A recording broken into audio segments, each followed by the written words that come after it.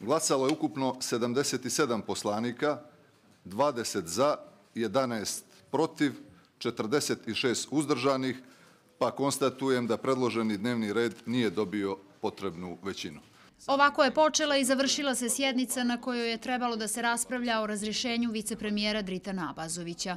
Iako je juče na kolegijumu predsjednika Skupštine najavljeno da će, ako bude kvoruma i ako se usvoji dnevni red, rasprava trajati tri sata, to se nije desilo. Tako da je naš odnos bio istovjetan kakav je bio i kad se razrešavao jedan član vlade polovinom prošle godine, kad su bile tri interpelacije o radu ministara na dnevnom redu krajem ove godine, istovjetno principijalno smo postupili i ovoga puta. Šta je ono što je zanimljivo, što ste vjerovatno i vi e, detektovali, jeste da je opozicija imala drugačiji pristup od onog pristupa koji je imala, čini mi se, prošle godine kada je razrešavan jedan član vlade ili ti ministar pravde. Opozicija međutim poručuje da su bili uzdržani jer posljedice nezadovoljavajućeg rada vlade ne treba da snosi jedan čovjek. Mislimo da posljedice lošeg i neodgovornog rada vlade treba da snosi cijela vlada i da je naša inicijativa još u decembru mjesecu bila da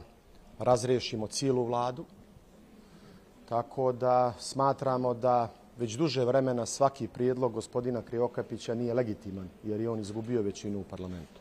I podpredsjednik vlade Drita Nabazović je siguran da vlada više nema podršku u Skupštini. Sutra će biti još manje za podršku vlade. Da je sve bilo i drugačije, nikakav problem ne postoji.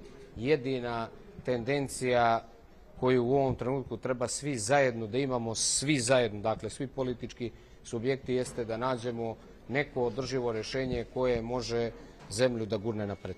Novinare je zanimalo da li će biti iznevjerena volja građana ako se nova vlada formira uz pomoć DPS-a. Ni na koji način se neće iznevjeriti volja građana iz prostog razloga. Razlog je vrlo prost. Dakle, mi nismo 30. augusta glasali da imamo privatnu vladu Crne Gore nekoliko ministra.